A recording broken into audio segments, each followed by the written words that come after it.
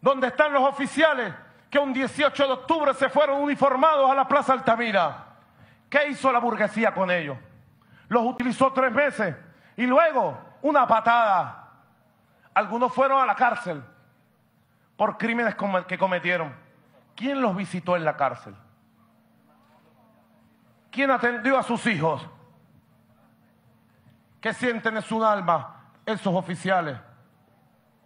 Que seguramente algunos de ellos,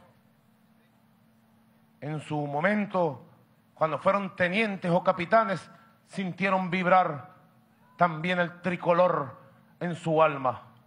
Estoy seguro de eso. Pero al final el camino los llevó por aventuras, aventuras. Y salieron una vez más, como pasa. ¿Qué pasó con Italo del Valle Aliegro? Lo nombro aquí. Jefe de la masacre del 27 y 28 de febrero.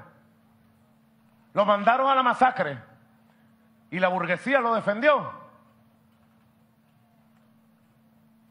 La burguesía, así como los imperios antiguos, solo utilizan a los hombres y a las mujeres de armas para garantizar sus intereses económicos, particulares, politiqueros.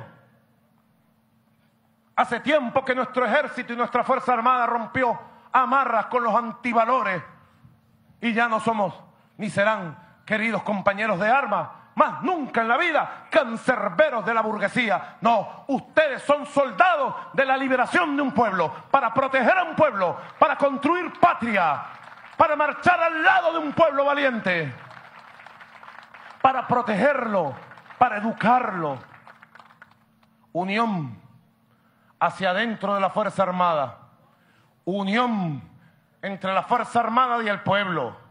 Unión en el seno de nuestro pueblo. Unión cívico-militar para construir los nuevos estadios de desarrollo de nuestra patria.